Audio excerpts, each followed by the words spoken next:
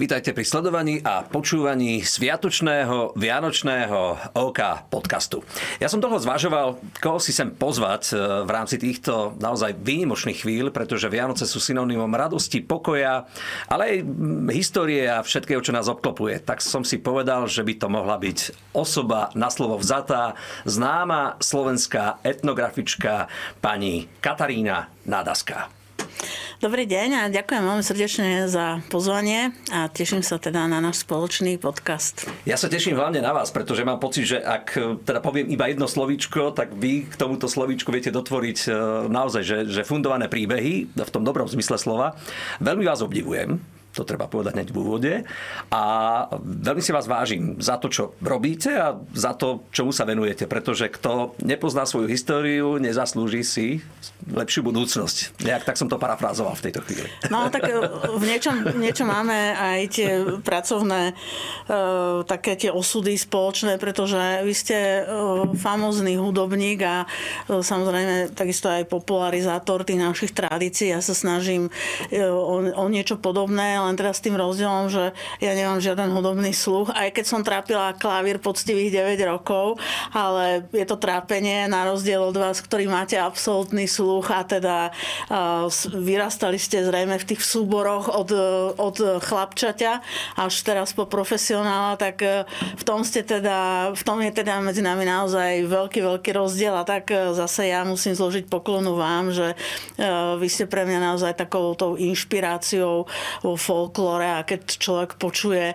vaše husličky a teda e, vidí aj ten úsmev, ktorý máte tú iskru v očiach pri každom tom pohybe, keď tie husličky chytíte do ruky, tak ja sa tak veľmi teším. a myslím, že nie som jediná, že pekne. na Slovensku Neviem, je či nás, si to zaslúžim, pretože je nás veľa. ako hovorí moja manželka, sú aj šikovnejší, mudrejší e, a lepší muzikanti ako som ja.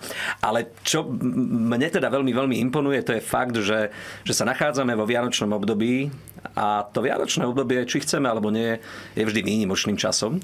Uh, ako je to celé v rámci, v rámci nejakého historického povedomia uh, Vianoc. Uvedomujú si vlastne ľudia na Slovensku, ako vlastne Vianoce vznikli? No, myslím si, že však veľa už e, sa o Vianociach rozpráva, ale faktom je, že je to teda zaujímavé, pretože Vianoce sú už kresťanský sviatok, ktorý e, slávime naozaj už niekoľko storočí, ale napríklad na tom našom území e, žili aj Slovania, predtým ešte Kelti. To osídlenie tu bolo veľmi pestré a každá táto kultúra, ktorá tu bola, tak mala tiež svoje zvyky a dá sa povedať, že tými predkresťanskými zvykmi bol zvyky zimného slnovratu. A je teda zaujímavé, že v tých Vianociach našich kresťanských sa nám spája samozrejme tá duchovná hodnota Vianoc, ale krásne tam idú aj zvyky, ktoré sú čisto ľudové a ktorých korene by sme naozaj mohli nájsť dokonca ešte v tom predkresťanskom období. Takže v mnohých tých regiónoch na Slovensku a v mnohých rodinách e, aspoň čiastočne niektoré tie rituály ešte stále tí ľudia vykonávajú, aj keď možno nemajú celkom presné znalosti, že prečo. Hm, tak napríklad, čo je, čo je také typické pre tie historické slovanské časy, ktoré, ktoré boli pred e, ešte samotným kresťanstvom. Teda. No, ja, ja spomeniem aspoň teda, ako hovorím, niektoré tie atribúty, že v mnohých rodinách si na štedrý e, večer, niektorí po večeri alebo pred večerou, ako to je, na tom čase vôbec nezáleží, ale ide o to, že o ten rituál, že sa zoberieva e, proste jablčko a každý si prekrojí to jablčko. No, to, a teda, to je prečo? No a to je, teraz, a teraz ale prečo? Lebo tam sa prekrojí jablčko a teraz sa pozerá, že uh, aký je ten stred, že tam by mala byť hviezdička a keď uh, náhodou sa stane, lebo ono je to aj taký pekný príklad a máme to aj v rozprávkach o takom tom čarovivom jablčku, to znamená, to jablčko vyzerá pekne na pohľad, ale keď ho prekrojíme, tak vlastne uh, už tam môže byť nahnité, alebo je tam naozaj nejaký červík, ktorý začal páchať skazu. No a toto sú rituály, ktoré sú uh, veľmi staré. Oni, oni môžeme ich aj nazvať, že sú také veštecké rituály, veštecké ešte nie mimo mňa. To znamená, že naši predkovia dávno e, práve si vyberali ten čas e, Vianoc, pretože je to magický čas, je to čas, ktorý je len alebo obdobie, ktoré je len raz v roku. Je to obdobie, ktoré je vlastne ku koncu roku, čiže sa aj ako keby bilancuje a rozkladom toho jablčka sa veštilo, že aké bude zdravie napríklad pre toho konkrétneho človeka, ktorý si to jablčko prekrojil. Či bude mať úspešný rok plný zdravia, alebo teda môže očakávať, keď, keď tá vežba bola nepriaznivá, tak či môže očakávať nejaké, nejakú zlú situáciu, nejakú chorobu možno, alebo až fatálnejší uh, osud. Tak toto je jeden zo spôsobov, ktoré my e, dnes v rodinách alebo mnohí ľudia robia ako tradíciu, ale v podstate samozrejme to už neberú vážne. Je to taký ten spôsob tradície. Podobne to sa robí aj s orieškom, čiže môžeme to jablčko alebo oriešok, že sa teda ten klasický náš e, až posvetný, lebo napríklad orech bol posvetný strom, čiže aj orechy, tie vláske naše orechy sú naozaj takými mystickými plodinami a posvetnými, preto sú aj súčasťou štedrovečerného stola, rovnako ako jablko, ktoré teda je aj taký ten biblický motív toho jablka. No a to sú práve preto tieto plodiny teda mali poskytovať ako keby to veštenie do budúcna. A rovnako tak môžeme spomenúť, to je už taký novší zvyk, že sa pod e, krásne prestretý štedrovečerný stôl, kde sa e, dáva... E, dáva... Slama a reťaz, ak sa nemýlim, na východe Slovenska sa teda áno, dávala. Áno, a, to, ale, a toto je teda pravda, čo hovoríte, je to tak, len dnes už sa toto tak menej, lebo to menej dáva. A to, tieto zvyky, tá sláma a súvisí už s kresťanstvom, pretože tá odkaz symbolika práve na to, že spasiteľ, vykupiteľ, ktorého očakávame. A tým, e, tým štedrým večerom sa vlastne narodí na polnočnej omši. Je to slávnostný oznam, že sa teda narodil ten vykupiteľ. Tak vlastne sa narodil v e, Betleheme, v tých jasličkách na slame. Takže tá slama je tam kvôli tomu. E, zvyklo sa dávať tá reťaz, presne ako hovoríte. To je krásny, krásny symbol, aký veľmi archaický, ale myslím si, že tento symbol by sme si mohli osvojiť osvojiť aj my, lebo tá myšlienka je úžasná. Reťaz sa dávala preto, lebo reťaz je silná, tu neroztrhnete.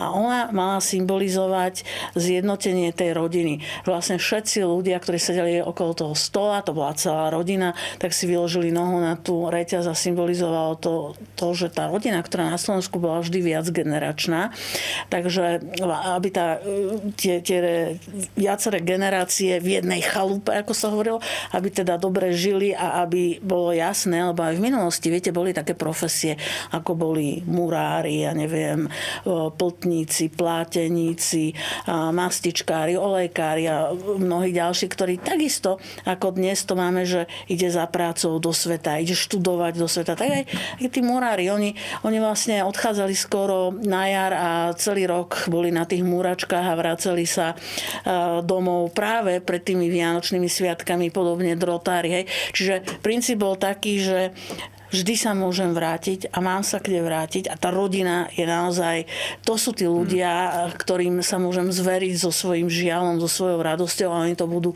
so mnou zdieľať. Takže krásna myšlienka z toho recazov. To, mne sa toto veľmi páči. Všimol som si ešte na východnom Slovensku, aspoň teda som to párka zazrel, e, stromček je, nie je teda položený na zemi, ale vysí zo steny. Uh, aj to má nejaký súvis, alebo to bola iba taká nejaká náhoda? No, to, to, to je zaujímavé. Plafónu, aby som bol Áno, áno, rozumiem. Hej. hej. Uh, symbolom, niekedy bol symbolom Vianoc Betlehem. To, to vlastne za to vďačíme uh, svetému Františkovi z Asisi, ktorý teda traduje, že on vlastne ako, ako prvý uh, vymyslel taký ten pojem živého Betlehema a teda um, údajne teda on prvýkrát uh, um, stvárnil ten, ten alebo teda nainštaloval ten živý Betlehem, čiže živí ľudia, ktorí vlastne predstavovali ten biblický výjav, príbeh narodenia Ježiška. A No potom tie betlémy sa teda vyrábali samozrejme aj na našom území z rôznych materiálov, zo slamy, z dreva, z vosku. V tých banických oblastiach to boli tie špecifické také tie banické betlémy, tie vkladačkové. No, takže to Betlehem je oveľa starší a, predstavoval vždy ten symbol Vianoc. Ale teraz k tomu stromčeku, ten je mladší. To je zaujímavé. Vianočný stromček eh, pochádza z nemeckých krajín a je teraz také rôzne legendy sú, že kto ho vlastne vy vymyslel, že, že teda kto ako prvý postavil ten stromček. Tých legend je niekoľko jedna je taká rozšírená práve na území dnešného Nemecka, že teda Martin Luther, čo bol veľký reformátor, filozof, raz sa tak prechádzal pred Vianočnými sviatkami po lese a videl krásne jedličky, pekne opadané tým snežikom, pocukrované, tak sa mu to tak páčilo, takže údajne teda on ako prvý postavil Vianočný stromček. To už uh, je jedno, ako to bolo. Faktom je, že Vianočné stromčeky sa uh, rozšírili uh, najprv v tom šlachtickom prostredí, to bolo zhruba, tak dá sa povedať, že koniec toho 17. začiatok 18. storočia. Potom to, išlo, išli, išla tá móda tých stromčekov do mešťanského prostredia a až nakoniec sa objavujú na Slovensku aj na slovenskom vidieku. A viete, čo je teda zaujímavé, že vôbec to nie je nejaké, nejaká starodávna záležitosť, pretože na tom slovenskom vidieku sme mali oblasti, ja neviem, aj na Kisuciach, kde to bolo dokonca až 20. roky alebo 30. roky 20. storočia, čo nie je vôbec... Pomerne nedávno z hľadiska historickej pamäte. A teraz vlastne k tej vašej otázke a veľmi, veľmi dobrému postrehu, že vysali vlastne z hora, z tej hrady. Malo to veľmi taký praktický význam, pretože v tom staršom období samozrejme tie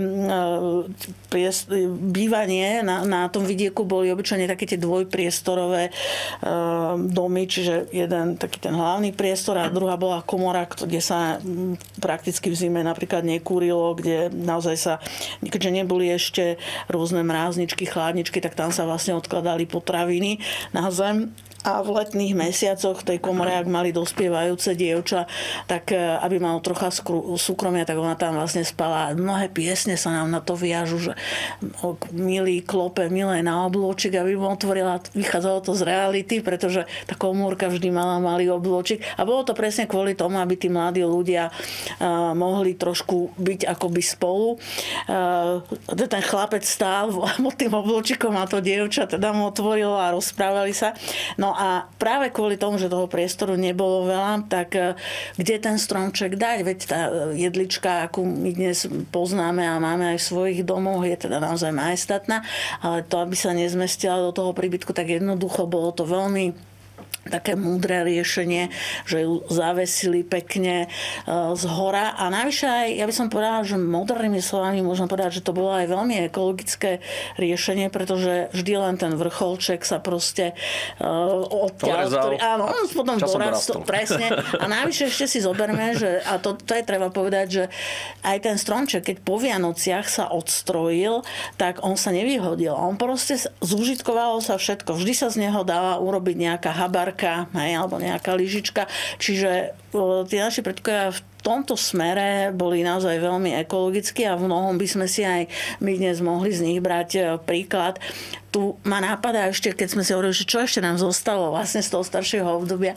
A, um, to určite viete, viete, vaše korene sú vlastne na východe a tam dokonca štedrá večera mala až 12 chodov. Hej? V mnohých regiónoch to tak bolo, to východného Slovenska, že 12 chodov, pretože to je vlastne symbolika tých 12 mesiacov v roku.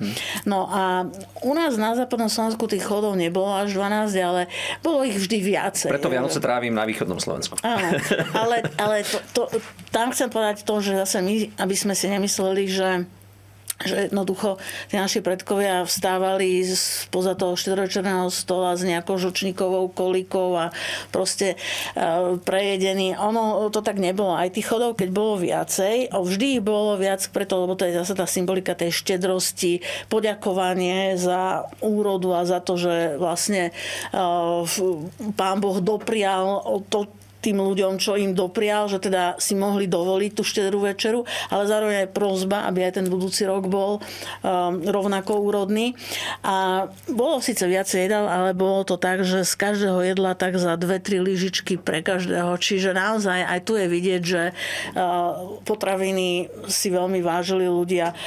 To, čo sa návarilo, aj tie jedla, ktoré sa návarili, sa museli počas tej štedrej večere zjesť, čiže sa varilo naozaj tak veľmi uh, veľmi racionálne, primerane, hmm. aby nič nevyšlo na Ja si to pamätám u starých rodičov, nesmelo sa vyhadzovať tak. to vianočné jedlo v žiadnom prípade, takže dojedlo sa, hoci aj na druhý deň, ale dojedlo sa. no a v, tých, a v tých starších obdobiach sa ani nemalo dojedať na druhý deň, tak my už dnes samozrejme toto je bežné, ale na, v starších obdobiach vlastne platilo tak, že preto sa aj varilo tak málo, že za dve, jednu, dve lyžičky z každého jedla pre každého člena rodiny, už to tá gazdina tak mhm. mala ako vypočítané, lebo všetko sa malo dojesť štedrý večer. Napríklad piekol sa samozrejme vianočný chlebík a ten e, výnimočne sa e, nekrájal, ale sa odlamoval, pretože na štedrovečernom stole nemal byť nôž. To bolo... A prečo? No, e, proste jednoducho nôž tam nepatril s tým, aby sa v tej rodine alebo na tom hospodárstve nestalo niečo zlé. To je, taká, to je zaujímavé. Bežne sa chlebík mal vždy krájať, ale výnimku tvorila štedrá večera, kedy sa mal odlamovať.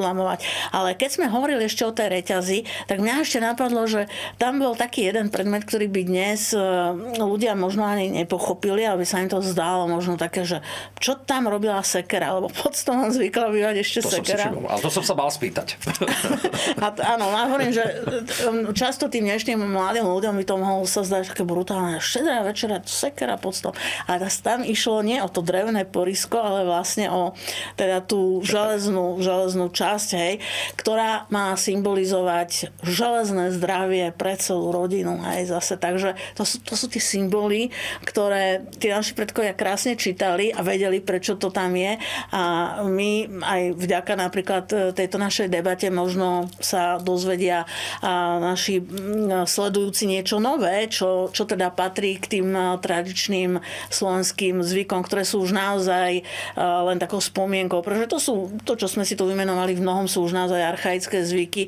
A ja sa vždy tak poteším, keď vy mi poviete, že ale toto sa ešte v, na tom východnom Slovensku, lebo na tom východnom Slovensku to je prekrasný, prekrásna oblasť, kde naozaj nájdeme v niektorých tých obciach ešte stále tie zvyky, že sa dodržiavalo a ja sa tak veľmi teším, lebo je to taká nádej, že aj keď sa nám zvyky inovujú a aj tie vianočné zvyky, viete, sú, sú tam novinky, to si môžeme potom povedať, že aké sú také rozdiely, ale teším sa, že sú ľudia a často sú to aj mladí ľudia, ktorí napríklad majú veľkú lásku k folklóru a práve cez tie folklórne skupiny oni aj udržiavajú v podstate mnohé tieto zvyky a snažia sa ich rozvíjať a revitalizovať a z toho sa ja teda veľmi teším osobne. Uh, ja mám niekedy pocit, a teda nechcem veľmi oralizovať, lebo nemám na to právo, že niekedy sa zabúda aj na tú prapodstatu, kresťanskú podstatu Vianoc. Pre mňa sú Vianoce synonymom polnočnej omše, takisto aj kresťanských zvykov. Prečo je to možno tak, že, že trošku zabudáme na tú prapodstatu celého toho veľkého sviatku?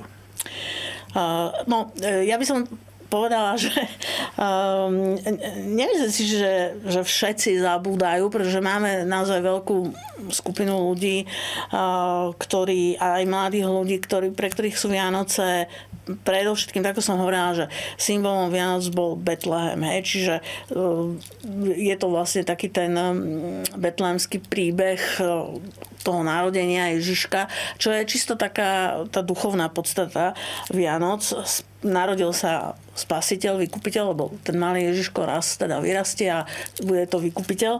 Čiže e, veľa ľudí e, stále vníma Vianoce ako, ako predovšetkým ako duchovný sviatok, ale isté, že v tomto máte pravdu a to sú aj tie zmeny v tých e, tradíciách, že pre veľa ľudí je samozrejme sú Vianoce určité sviatky pokoja, keď sa stretne, dajme tomu rodina, alebo sa rodina navštevuje.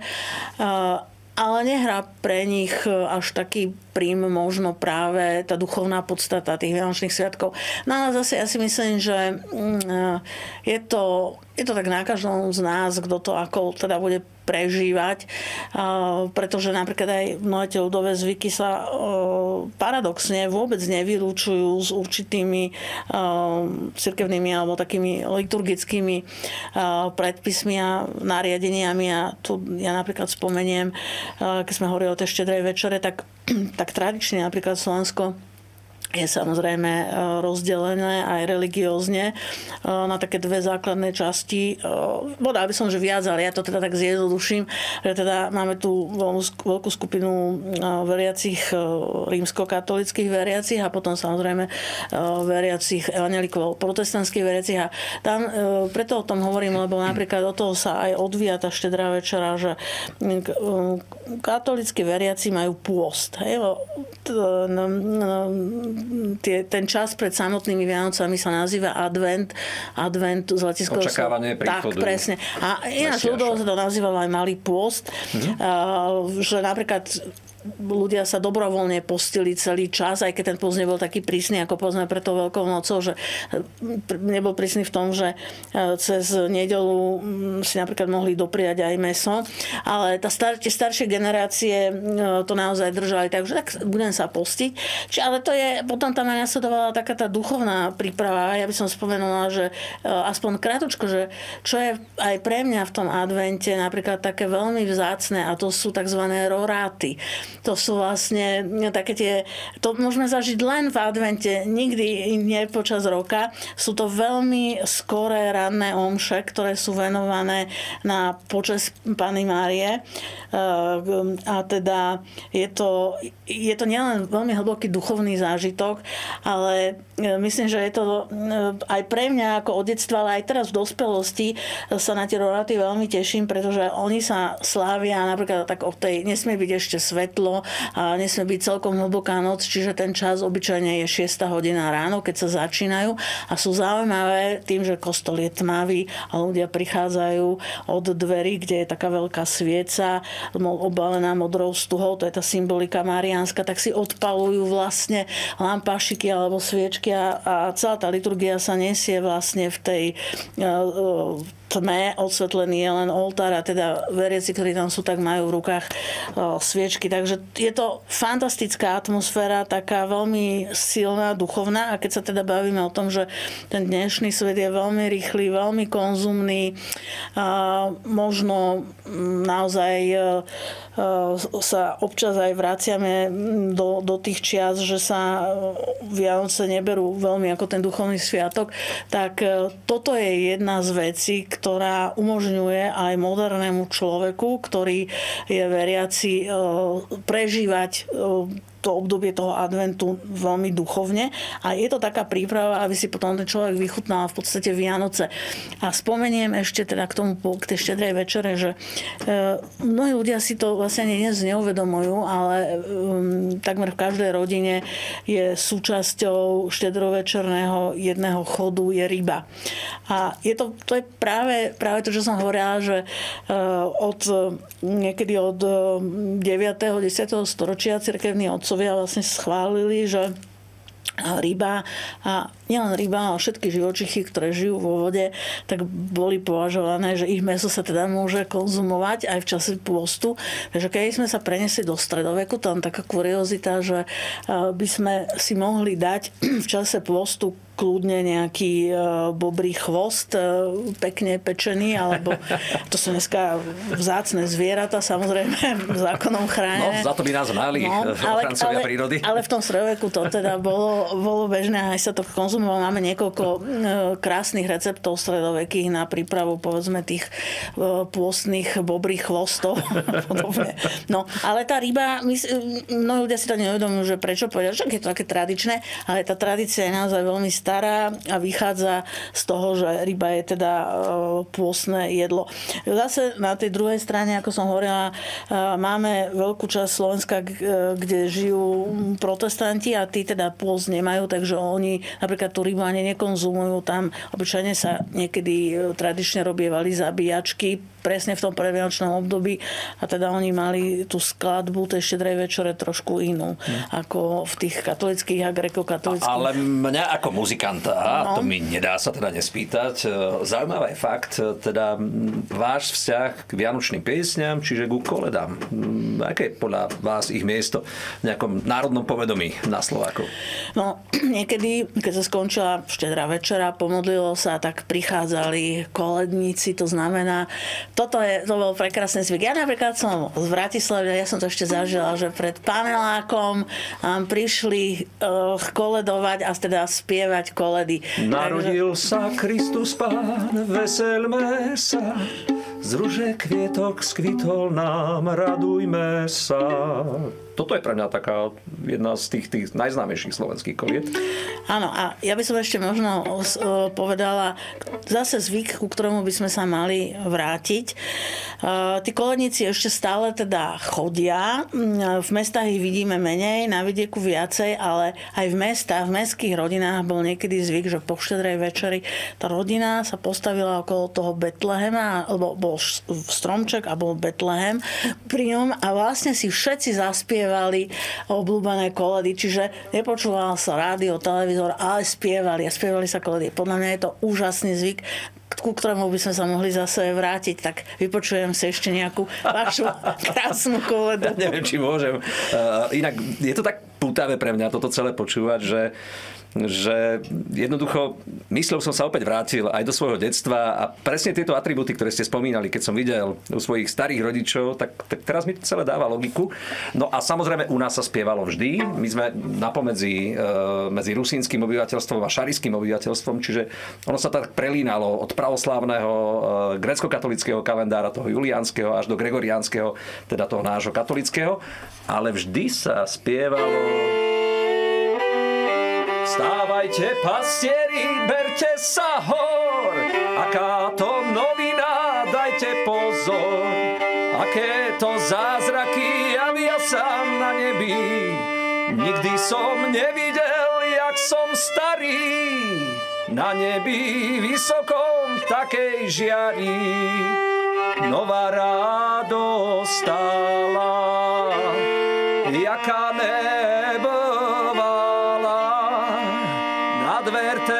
nebo jasná svitu zasíjala. A pieseň, ktorá spájala celé východné Slovensko, ja sa niekedy smejem, že to je taká nepísaná tichá noc e, východniarov, povinná výbava každého jednoho východniara. V každom jednom nárečí je Kedy jasná hvízda z neba východzila, vtedy pánenka Maria syna porodzila.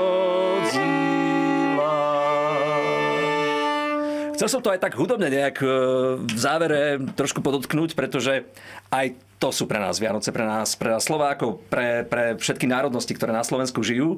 A ja som rád, že ste si e, našla čas, pani Nádaska, na nás a preto využijem ešte tieto posledné sekundy a minúty nášho podcastu, môjho podcastu, aby ste zaželali aj vy všetkým poslucháčom a divákom niečo, čo by teda nemalo chýbať počas týchto Vianoc.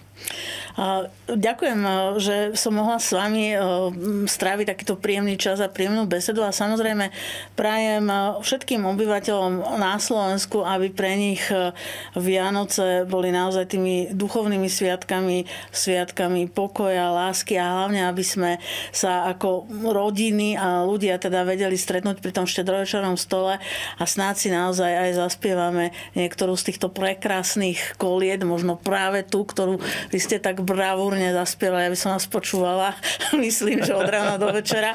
A skrátka, aby sme mm, ako, ako národ sa aj v tom budúcom roku tak viacej zjednotili, boli na seba milší, lepší, menej sa hádali, naučili sa viacej diskutovať a tešili sa e, z tých, jednak z tých tradícií, ktoré máme a vzájomne si teda pomáhali. To si myslím, že by bolo také, také fajn, keby sme dokázali urobiť e, všetci taký ten jeden krôčik dopredu k tomu druhému človeku, aby sme tak e, viacej sa spojili a boli takí ústretovejší ako ľudia, ako, ako Slováci a, a boli hrdí teda na svoje tradície. Ďakujem za vaše slovo slova.